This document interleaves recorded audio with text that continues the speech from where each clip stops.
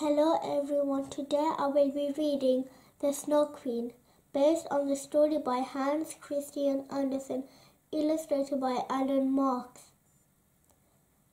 Before I start, it would mean a lot to me if you could please subscribe to my channel and hit the bell. Thank you.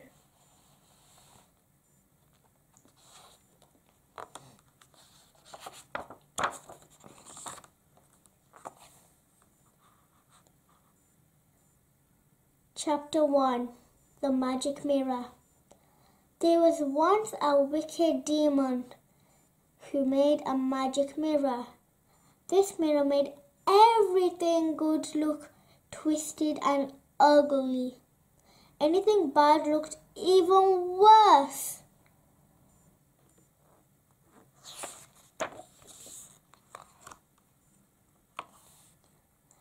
It's a fine mirror, snarled the demon's students. Let's show it off to the angels. Flapping their leathery wings, they flew up and up until smash! The mirror slipped from their hands, crashed to the ground, and broke into a million tiny pieces. Some pieces were no bigger than a grain of sand, but they were as powerful as the whole mirror. If a speck flew into someone's eye, everything looked horrible and wrong. But if a splinter struck a person's heart, that heart began to freeze.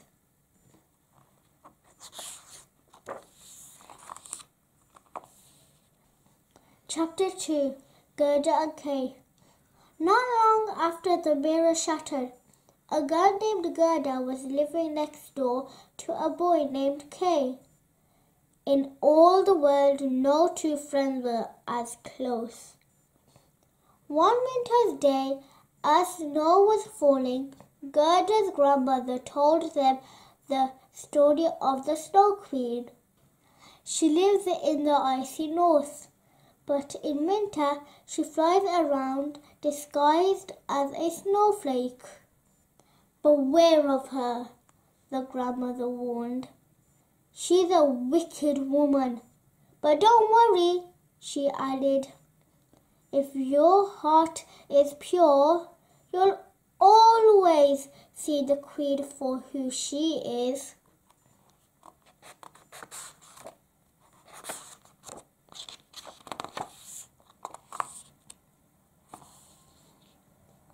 Wandering home, Kay gazed at the glittering snowflakes. Drifting down, as he stared, he noticed one flake seemed larger than the others. Then he gasped. The snowflake was definitely growing bigger until it became a beautiful woman. She was astonishing. Her shimmering white clothes were coated in snow, and she herself was made entirely of ice.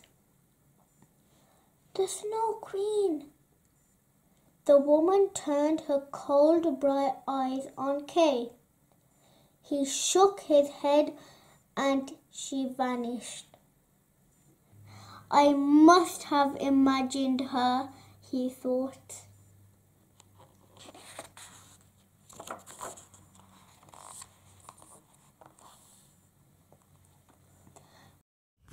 Winter passed and Kay forgot all about the Snow Queen. Then one day, while he and Gerda watered the roses in her window box, Kay suddenly cried out, Kay, what is it? Ow! My heart and my eye! He had felt a sharp jab in his eye and another piercing his heart. But neither Kay nor Gerda could see what had happened. The jabs came from splinters of the broken mirror. At once Kay began to change and grow cruel. Those roses are crooked and ugly. But Kay, you've always loved them. Seeing Gerda's frightened face made him angry. He jumped up and left. Gerda listened sadly to his boots creaking down the stairs.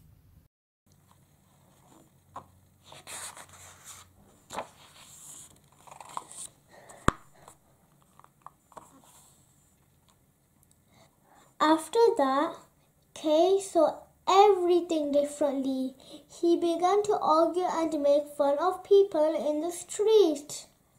He even mocked Gerda and her roses, though she still loved him. Next winter, Kay ignored Gerda altogether and joined the boys on their sleds in the town square. As they played, a dazzling white sleigh rolled into the square. Its driver was dressed in white from her fur hat to her pointed boots.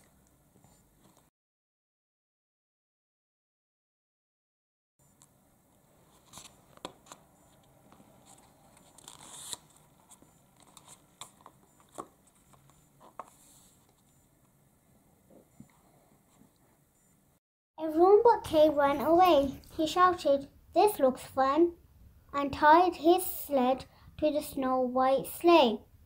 The two sharp splinters of mirror had blinded him to danger, for the driver was none other than the Snow Queen herself. The sleigh picked up speed and Kay laughed with excitement. Hurtling around the square, they dashed out through the city gates. On and on they flew, through swirling snow. All too soon, the sleigh stopped. As the driver stood up, Kay realized who she was. The Snow Queen. You must be frozen. Come and join me in my sleigh. Quickly, the queen kissed Kay and his icy heart grew colder. She kissed him again and he forgot all about home. He was trapped.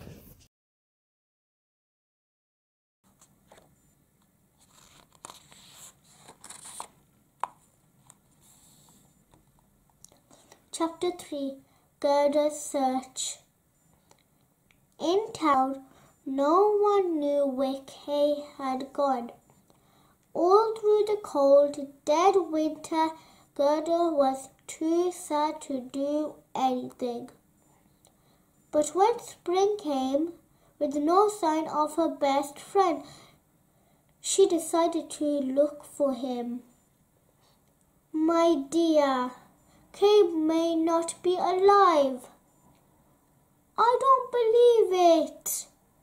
The river flows a long way she thought. Perhaps the river has passed him on its travels. Putting on her best red shoes, she went down to the river. If I give you my new red shoes, will you take me to Kay? She threw her shoes into the river as a gift, but they floated back to her so she climbed into a boat to throw them further in, and the boat swept her away.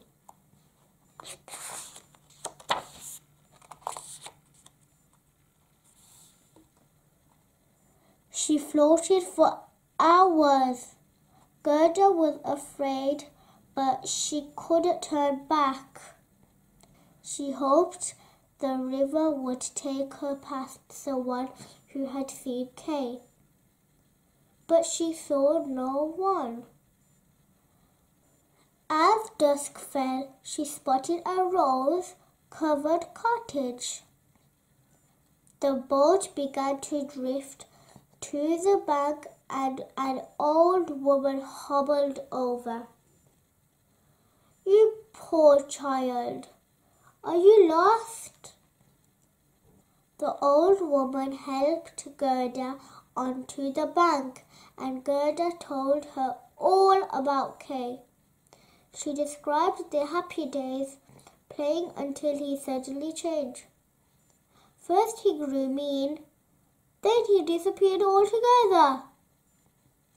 Now the old woman wasn't wicked, but she did know a little magic, and she lived a lonely life. I'll make sure that girl stays with me, she muttered and cast a spell.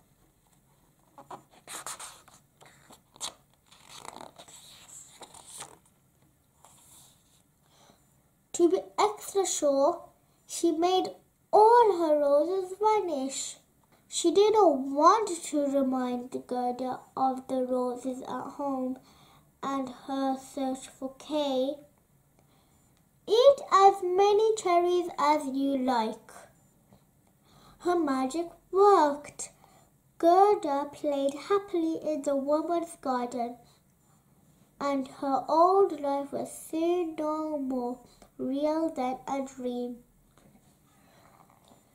Even so, sometimes she had a feeling that something wasn't quite right. Gerda might have stayed in the cottage forever, but one day she spotted a painted flower on the woman's hat. It was a rose.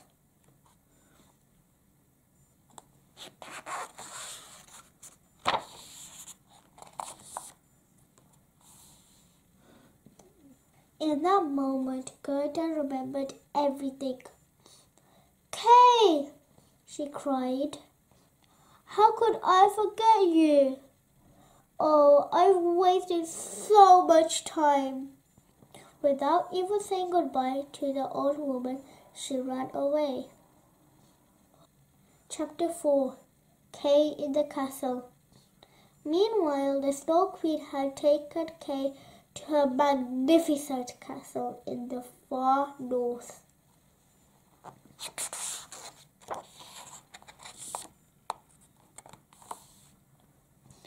Kay was neither happy nor sad. His feelings were frozen inside him. He sat at the queen's feet on a vast icy lake. So cold he was almost blue, but he didn't notice. The queen sat sighing on her throne board. Looking down on Kay, she decided to play a game with him. Solve my puzzle and I'll set you free, she declared. Kay looked at her bluntly. The queen waved a pale hand at some blocks of ice. If you put those in the right order, they will spell a word, she said, with a cruel smile. Slowly, Kay's frozen brain realized she was telling him to spell something. He so wanted to please her, but he just couldn't do it.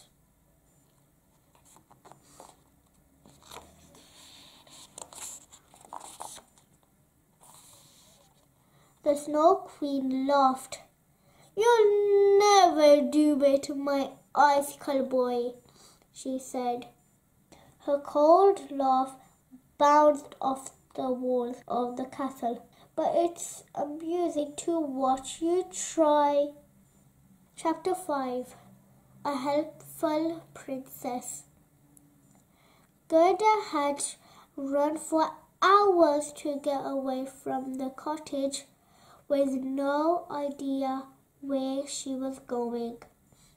At last, stumbling through a gloomy forest, she had to rest.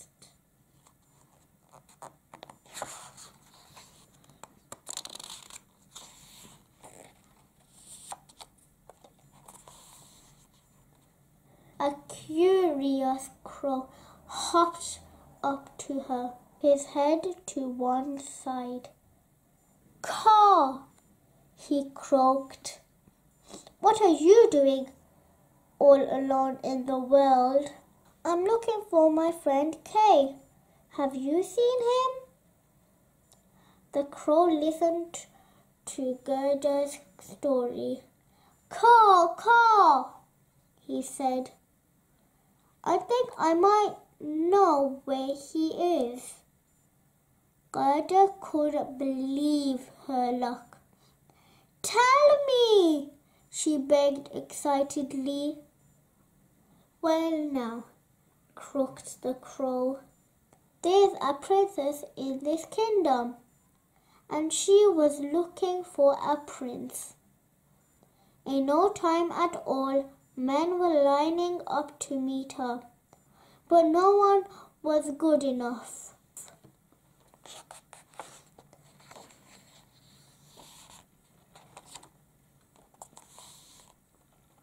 Then a young boy appeared from nowhere.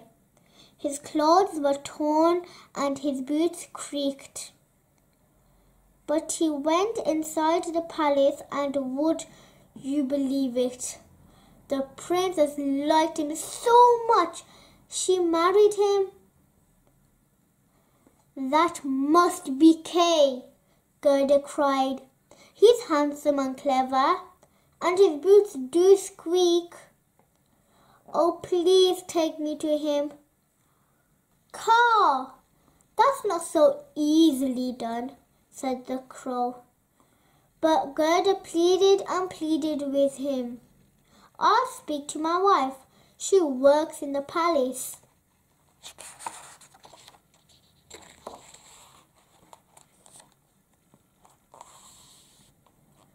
The crow flew off and Gerda waited nervously. Long after sunset, he returned with good news. Trembling with hope, Gerda followed the crow to the palace. Inside, its grand rooms were draped in the purple night. As they crept through the ballroom, shadowy figures swept by. Who are they? Gerda asked in a whisper. Dreams, replied the crow's wife. They take the royal thoughts for midnight rides.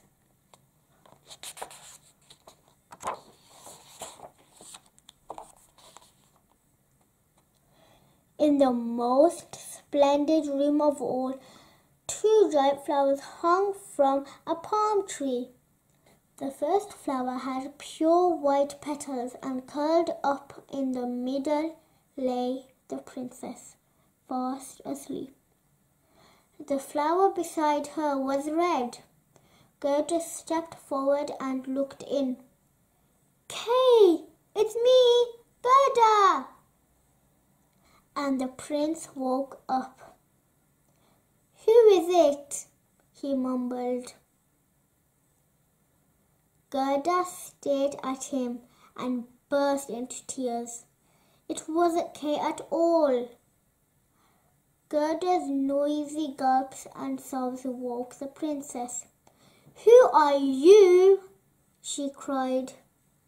Then, as Gerda didn't look dangerous, she gave her a hanky and let her sit down to explain.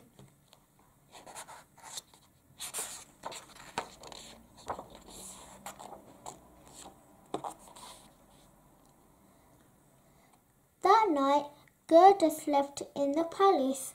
In the morning, the princess gave Gerda her second best dress and begged her to stay. But all Gerda wanted was to search for Kay. I'll walk around the world if I have to, she said. The princess smiled and called for her carriage. Gerda gasped. It glistened with golden sugar and inside the walls were lined with sticky buns and fat cream cakes. For a second, she simply stared. Is this really for me? she asked, pointing to the golden carriage. Well, you can hardly walk around the whole world, said the princess, helping her climb in. Don't worry, I have three more just like it. The carriage set off and Gerda waved through the window. Goodbye! Good luck! cried the princess.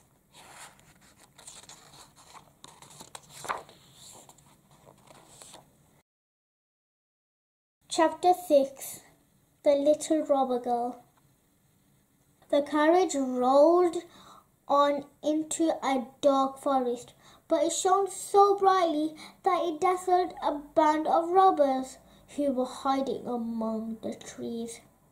Gold!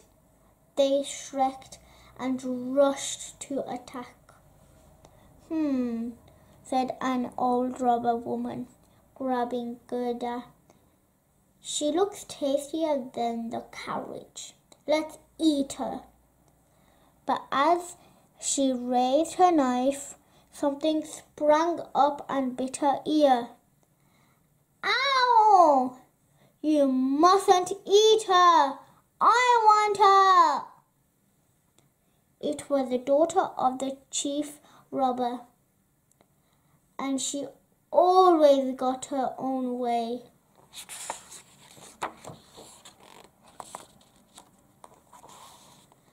I want her for my friend, said the robber girl, pointing at Gerda, and to play with her carriage.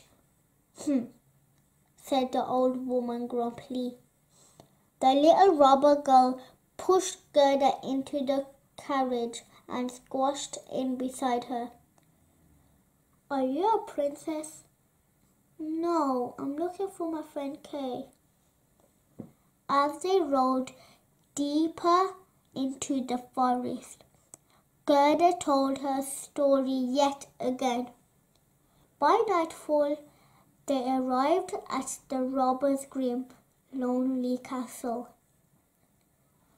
The little robber girl yawned. You can sleep with me and my pets, she told Gerda.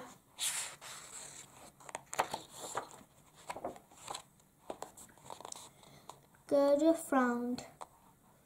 The robber girl had very strange pets. One hundred pigeons roosted in the rafters, and two wood pigeons sat in a silver cage. They're all mine, boasted the little robber girl. But Ba is best of all and she pointed to Aurelia, who was tied to the wall. Say hello, Ba. Bedtime, she announced, suddenly flopping down. Gerda stayed awake, watching the robbers polish their knives around the fire. Things were worse than ever. She was stuck here a prisoner again. I'll never find Kay, she sighed.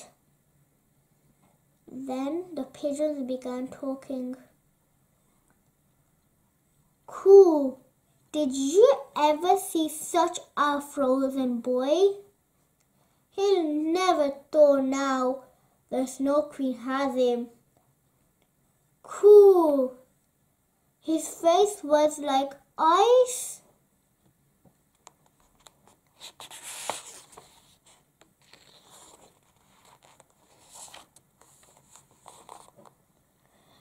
Could the Snow Queen have Kay? wondered Gerda. Please, where does the Queen live? she asked the pigeons politely. Somewhere north, they could. Ask Ba if he knows. The reindeer looked up. Yes, he said in a slow, deep voice. I know her home. I'm from there too. She lives in the far, far north, past Lapland. The little robber girl who was still awake heard everything. You don't want to find that rotten old snow queen, she said. You'd be safer here with us. But Gerda was desperate to find Kay. Then I shall let you go, said the robber girl, as proudly as a queen herself. Ba shall take you.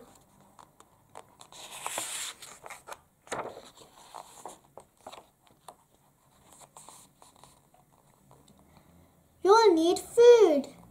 She went on finding Gerda bread and ham. With a hard shove, she helped Gerda onto the reindeer's silky smooth back. Ba bounded off happily, racing north to his home. The little robber girl stood alone in the moonlight watching and waving until they were out of sight. Chapter 7 Journey North It was a long way even to Lapland. When they arrived, Ba and Gerda were spotted by a Lap woman.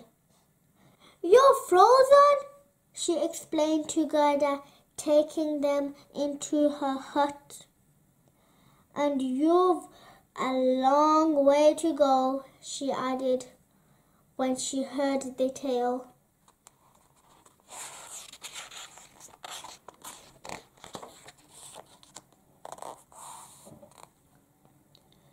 You're in luck, she told them. The Snow Queen is away just now creating the northern lights, you must go to, on to Finnmark. I know a Finn woman who can help. Gerda watched in surprise as the woman quickly scribbled a message to her friend on a dried fish. Ba galloped off once more across the snowy plains until they reached the Finn woman's tiny hut. Please help us. First, the Finn woman read the fish. Then she listened as Gerda breathlessly told her tale. Nodding, she fetched a parchment from her shelves and studied it.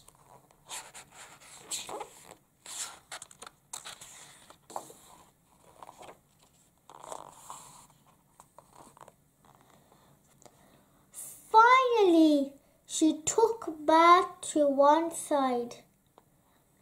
Kay is with the Snow Queen, she whispered. He's under her spell because of splinters of glass in his eye and his heart. To rescue him, Gerda must get the splinters out. But how? growled Ba. Can you give her some magic?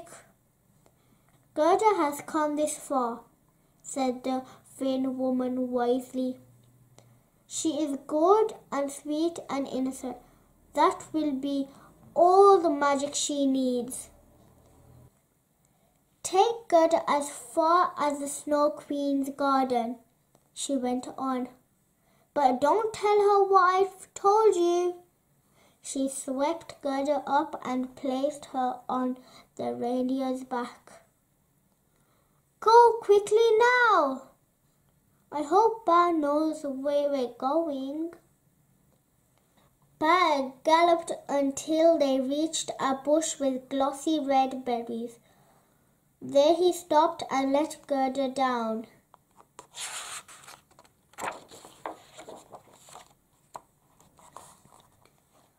Gerda was left all alone in the icy cold. Glittering snowflakes whirled around her, making it difficult for her to move. They were the guards of the Snow Queen's castle. As she hesitated, the gods took on terrible shapes. Huge hedgehogs with vicious spikes, fang-toothed snakes and fierce bears sprang at her. Gerda cried out in fear, but she didn't run away.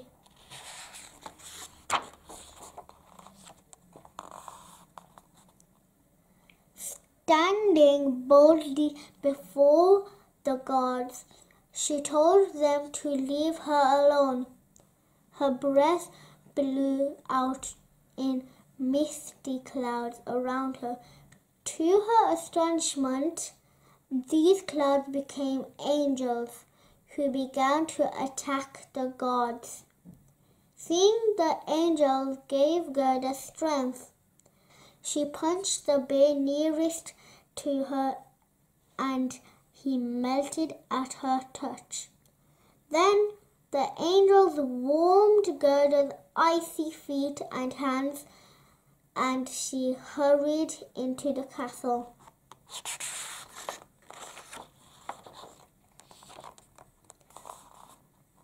Chapter 8 The Snow Castle Inside a cold, empty hall, Kay was puzzling over the Snow Queen's challenge. He sat still thinking hard, so still that he seemed frozen stiff. And that was how Gerda found him. When she appeared moments later, Kay! she called, running up to him. She wrapped her arms around him, but he didn't move.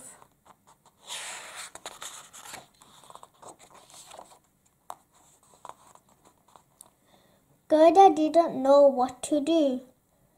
It was like hugging a block of ice. He was frozen stiff and he didn't even look at her. Hot tears dripped from her nose onto Kay's chest.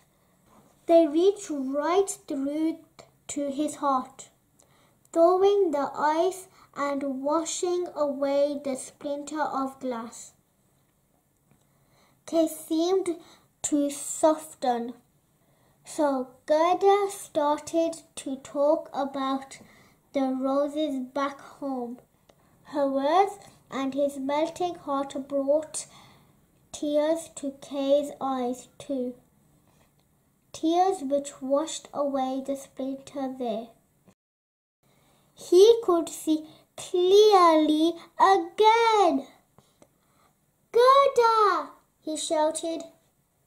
Is it really you? The old Kay was back.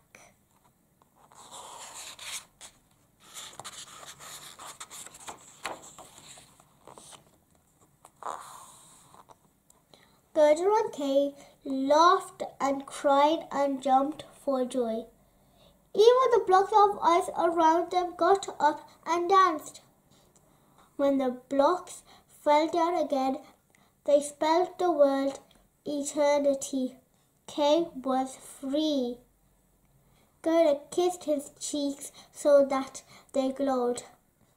Gerda, yuck, said Kay but Gerda kept kissing him until he was completely thawed. Let's go, begged Kay. The Snow Queen could be back at any minute. She's back now, said an icy voice behind them. Kay and Gerda looked at each other in horror. You said if I spelled a word, I was free. Kay shouted bravely, and there it is. I'm going.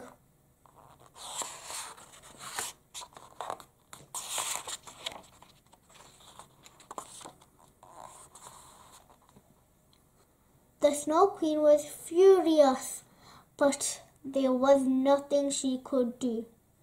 She had given her word and she was bound by it. Laughing with relief, Gerda and Kay tore outside the castle to find Ba and a friend waiting for them. To Gerda's delight, the reindeer carried them all the way home. At long last, they arrived at Gerda's house. Her grandmother had given up hope of ever seeing either of them again. Is it really you? You defeated the Snow Queen? Gerda and Kay hugged the grandmother over and over. This is truly a fairy tale ending, cried the grandmother, and the roses in the window box nodded their heads as if to agree.